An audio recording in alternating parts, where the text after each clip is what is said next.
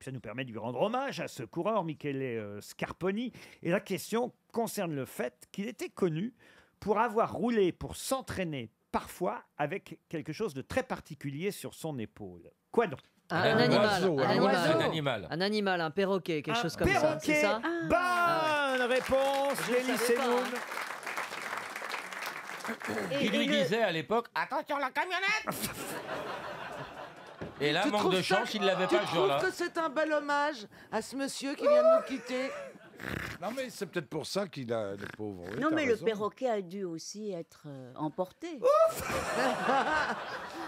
Eh, mais il n'y a pas de gens normaux en fait ici. Soyons d'accord. Non, Je vous triste, confirme. quand même. C'est- Pardon C'est une affaire assez triste. Oui, oui, bien sûr. c'est- C'est d'ailleurs pour Eh, ça que Surtout pour T'es la famille. journaliste commentatrice. c'est pour ça que j'avais pris un aspect anecdotique. vous voyez. Oui, bien sûr. Son perroquet s'appelait Peau Belge. donc Alors qu'est-ce non, que- j'ai le nom du perroquet si vous le voulez. Ça Ah vous oui intéresse Ah, Ah oui, ouais. parce que c'était un duo, voyez-vous.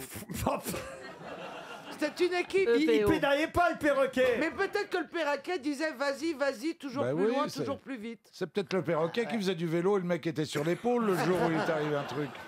En tout cas, il faut pas en dire du mal parce Bah que les non. perroquets vivent très longtemps. Oui. Ah, Ils sont très vienne nous intelligents. chercher ou qu'il nous Mais fasse c'est un peut-être un procès. volet. Frank G, c'était le nom du perroquet, euh, et c'est vrai que ça avait fait le tour du web. Vous pourrez voir les images euh, sur Internet. Ça sera l'occasion euh, de vous rappeler de ce coureur cycliste italien qui était très drôle, paraît-il, qui avait beaucoup d'humour. C'est bien de dire qu'il avait beaucoup d'humour, parce que tous les coureurs n'ont pas beaucoup d'humour, forcément. Pourquoi t'en connais beaucoup? Oui, j'ai connu beaucoup de coureurs. J'ai fait le Paris-Roubaix sur les épaules de mon père pendant pas mal d'années. Ah ben, vous avez bien une gueule de perroquet, remarquez. Mais alors moi, je ne sais pas. les- Quand on est en plein sprint, Oui, quelle est la, la vitesse la plus haute quand on 300, pédale? 400 km heure, hein, à peu près. Parce que le perroquet, il faut qu'il tienne sur l'épaule. Non, mais il était Non, pas mais là dans c'est la vrai. course. Non, mais Quand ça Ariel va fait une vite fixation, Ariel se demande. Mais je crois Mais- qu'on lui avait mis un petit peu de scratch sous les pattes. Au Il y avait du début, velcro. Pour bien que ça adhère. au début, il a essayé avec un éléphant et là, c'était vraiment trop lourd. Ça le. Qui a eu un perroquet déjà ici? Non? Un perroquet qu'on qu'on élève euh, au biberon et à la, sur la main dès le départ, il est pas dangereux du tout. Il est Non. très gentil. au Et contraire. puis, vous Non, mais- savez, ce qui est joli avec les perroquets et certaines perruches, c'est qu'elles restent euh, mariées au même c'est partenaire toute la vie. Ah. Inséparable. Oui, enfin, il y a C'est quand même des clubs échangistes de perroquets aussi. hein. Enfin, excuse-moi, elle mais parle, si elle parle pour elle. Eh ouais, non, mais si on les enferme dans la même cage chez soi pendant. Tu vois, ils vont pas rencontrer d'autres partenaires non plus.